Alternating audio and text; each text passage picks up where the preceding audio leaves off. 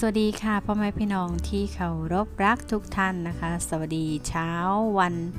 อาทิตย์ที่ 3 พฤษภาคมนะคะ วันนี้มีข่าวของคณะก้าวหน้ามานะคะ อินบ็อกพังนะคะ คนแห่ขอเงิน 3,000 คณะก้าวหน้านะคะ แจ้งเปลี่ยนกติการับเยียวยาใหม่นะคะ เมื่อวันที่ 2 พฤษภาคม 2563 จากกรณีเพจนะคะของ Facebook ของคณะ ก้าวหน้านะคะ จัดกิจกรรมเมเดย์เพื่อระดมทุนบริจาคเงินระหว่าง คอนเสิร์ตที่จะถูกส่งไปต่อให้เพื่อช่วย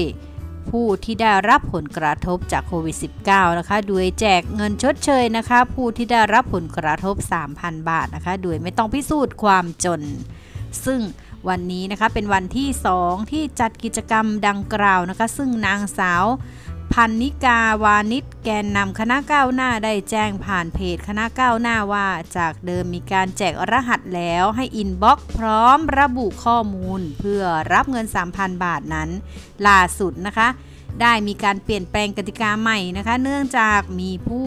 เข้าชมเพจพร้อมกันจำนวนมากนะคะ ส่งผลให้ inbox พังนะคะ จึงได้มีการเปลี่ยนแปลงกติกา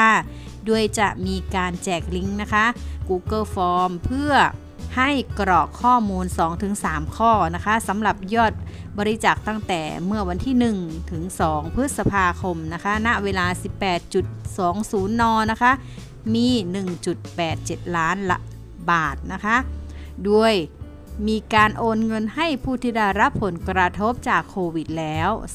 244 ราย เป็นเงินจำนวน 732,000 บาทสำหรับลิงก์ Google Form นะคะชอ จะแจ้งนะคะในช่วงเบรกที่2นะคะอย่างไรก็ตามจนถึง